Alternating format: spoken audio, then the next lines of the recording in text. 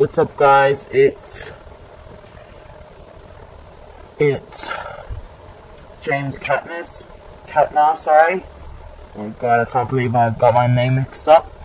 And today I'm doing a review on the Audiosonic HD video camera. And as you can see, it's a very nice camera. It it has this little cap to protect the screen, which is quite nice.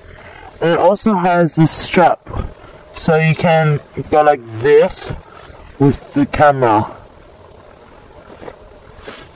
Let's check what's inside.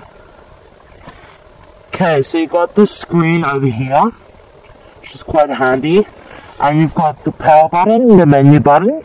The menu button is to change any settings, and you also got the mode button. If you want to change to camera, or if you want to change to the your saved pictures. This button here is to put on this flat torch over here. And this button is to obviously delete. And this button is to like select things and everything.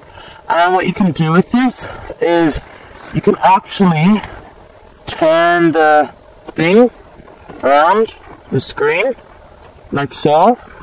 So if you're going like that, you can look you can look at it like that instead of having to go like that. So you have to look over to see it. And it's it is an HD 720 and this button here is to zoom in and out and this button is to record and you know what's cool? You've got your lithium battery here. Like so. Take it out. Put it back in. And you've got your SIM card over here. And what you have also got, you've got an AV output, which what you can actually do with this is you can plug in your earphones or headphones, and you can listen to what you've done, uh, other people doing it. And you have also got, where is it? Uh, God, I always forget where this thing is. Um, where is this? Oh, here. I found it. Okay.